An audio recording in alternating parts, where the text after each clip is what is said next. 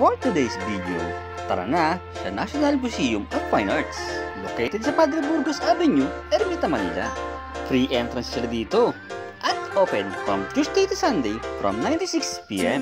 Just present one ID per group. Ilalagay ko sa description ang mga bawal dalhin sa loob.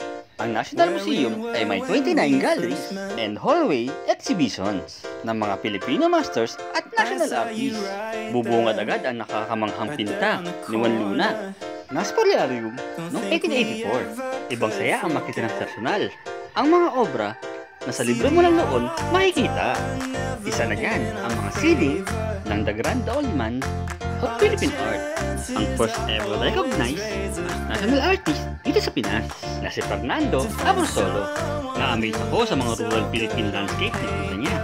Isali mo pa dyan ang kanyang escultor na si Guillermo Tolentino na nakabilang as National Artist Sculpture noong 1973. Bukod sa obra niyang Bonifacio Monument at Completion, ay dito niyo makikita ang ilan sa mga lika ni Guillermo Tolentino. Matatagpuan din dito ang ilan sa mga alaala Gat Dr. Jose Rizal at pagmamahal niya sa inang bayan.